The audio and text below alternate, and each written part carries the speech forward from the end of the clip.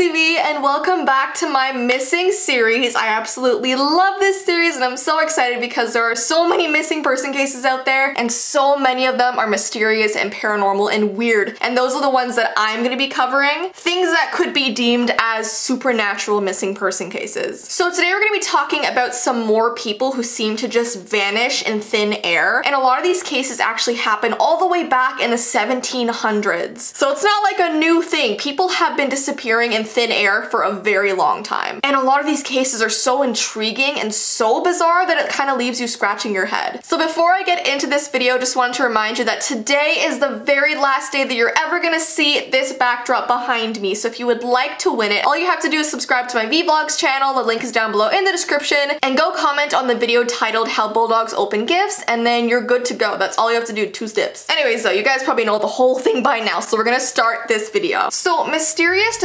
disappearances aren't new. For whatever reason, some people just seem to vanish without a trace, never to be seen again. But there is also a more stranger type of disappearance, and that is the type where people vanish in full view of others. So where there's witnesses watching someone literally disappear. These are the cases in which people were there one moment and gone the next, seeming to have just literally faded from existence, leaving us just baffled and questioning what the heck just happened. So we're gonna take a look at the history of some of the more serious cases, and the first one happened sometime in the 1760s. It was in the English town of Shepton Mallet. There lived an elderly man in his 70s by the name of Owen Parfitt. He was a very, very sick man and was unable to walk around or really do anything on his own. He pretty much spent his days completely bedridden. It was really unfortunate. So the only help he really got was from his sister. So he would either lie in bed all day or she would help him go out and sit on the porch so he can actually experience being outside, seeing the sun, but he all he could do was just sit there because he literally couldn't move. And according to the story, one day Owen was sitting in his usual spot by the door where his sister had been keeping an eye on him as usual. But on this day, the weather was really really chilly, so Owen had covered himself completely with a coat. So his sister was inside the house preparing a meal and she realized it was getting a little bit cold outside, so she thought that she would go back outside and bring him in, but the moment moment she stepped out onto the porch, all that was left on his seat was a coat. And this was just really bizarre to her because he couldn't move a muscle on his own and she had just been out there watching him moments ago. He was just lying there with the coat over top of him doing nothing. She walked in for I think two minutes and came back out and all that was left was a coat. Since he was unable to walk on his own, she at first thought that perhaps a neighbor had moved him inside, but after looking around and asking everybody, the old man was nowhere to be found and the neighbors denied having moved him. And even they had seen him sitting there all day. So it's just, it was such a mystery and was so bizarre. Owen's sister searched the area, but Owen was nowhere to be found. And it was also baffling that he could have gotten so far so soon in front of so many people with the inability to walk. Because they searched miles and miles around the property, he would not have been able to get anywhere. So his disappearance remains a mystery to this day. The next very serious case was in the 1800s. It was on the night of November 25th, 1809. A man named Benjamin Bathurst was on his way to Berlin. On the way there, Bathurst made a stop at the town of Perleberg. He wanted to get some new horses and he also wanted to have a hot meal. When the horses were ready and he had finished his meal, he excused himself and told his assistant he would go out and wait in the carriage. But when the assistant went out to the carriage a few moments after, the door of the carriage was open but Bathurst was nowhere to be seen. And there was also no sign sign of where he could have gone because he was there just a few seconds before. So a massive search was immediately put together, complete with dogs scouring the woods, house-to-house -house searches, and thorough searching of the nearby river, but nothing could be found. So he was just never seen again. So it's so interesting how these people were seen like two seconds and it's like once you turn your head and look back again, the person's just gone. But sometimes not only did the person disappear, but they disappeared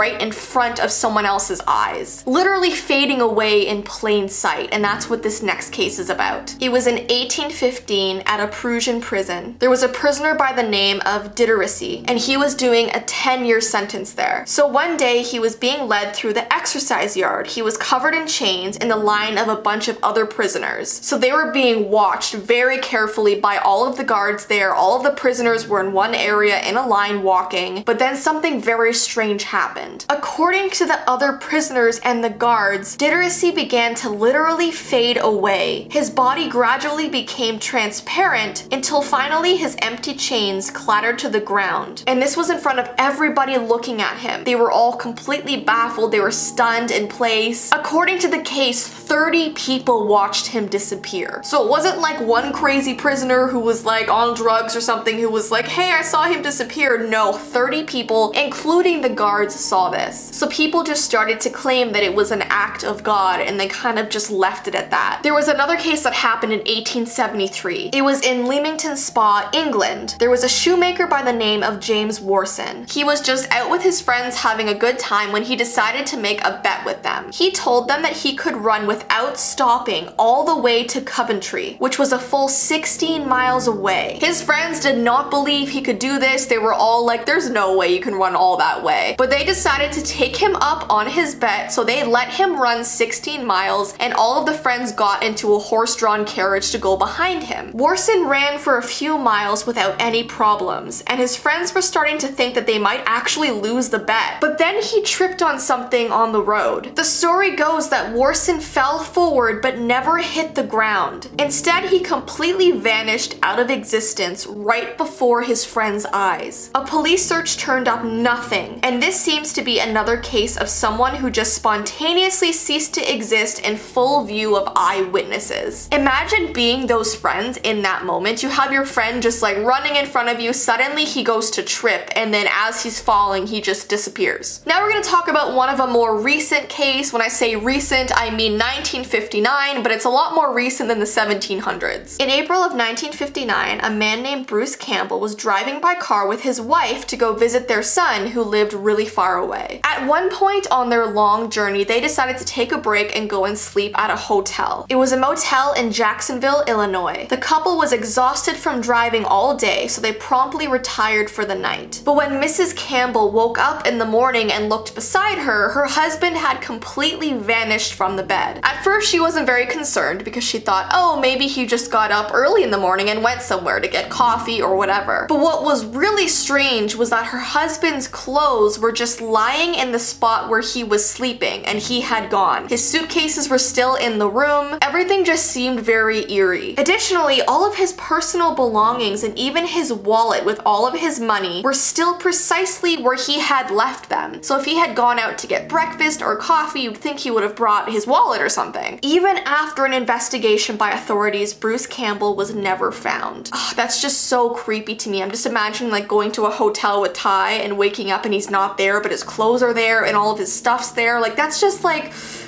that's my worst fear. There's another very similar case involving a couple that happened in 1975. It was when Jackson and Martha Wright were driving from New Jersey to New York City. The two were driving through the Lincoln Tunnel when they noticed that there was a large amount of condensation on their windows. And so much was piling up on their windows that they could barely see it all when they were driving. So Jackson decided to pull over to the side of the road so they could begin wiping off all of the fog on their windows. It was at this point that Jackson Says he turned to see how his wife was doing and found that she was completely gone. In fact, the woman was nowhere to be seen, even though she had been there just moments before. And Jackson was saying that he didn't hear or see anything unusual. There was actually no cars around, no one was around. He didn't hear her scream or jump. She was literally there. He turned and looked back and she was gone. It would have been impossible for her to get very far in such a brief amount of time. And yes, this does sound very suspicious on Jackson Jackson's part when he went to the police to talk about this, but the police investigated this for such a long time and found nothing. So Martha Wright's disappearance still remains a mystery to this day, just like all of these other cases. And the last case we're going to talk about today is actually one from 2007. So this is the most recent missing person case I think I've ever done in this series. I try and really keep it before the 2000s just because I want to stay respectful to families and I don't want to ever talk about something too new that could still be in the works. So I like more like historical cases, but today because it relates to this video, we're gonna talk about one that happened in 2007. So this happened on July 8th, 2007, and it's about someone who seemed to have just stepped off the face of the earth. 55 year old Barbara Bolick was out on a hiking trip with her friend Jim Ramaker. They were in Montana's Bitterroot Mountains. They weren't walking right beside each other, but she was only about six feet behind him. At one point along their scenic hike, Jim claimed that he stopped to admire admire the scenery. And when he turned to look behind him after a mere minute, Barbara was nowhere to be seen. And it's so weird because you can hear her footsteps walking behind him just as normal. So while he was looking at the scenery, he could still hear her behind him. But all of a sudden, after a mere few seconds, he stopped hearing her walk and he looked around and she was gone. No screaming, no sign of her running away, literally just not there anymore. So as usual, the police did a complete search of the area and they also found no reason to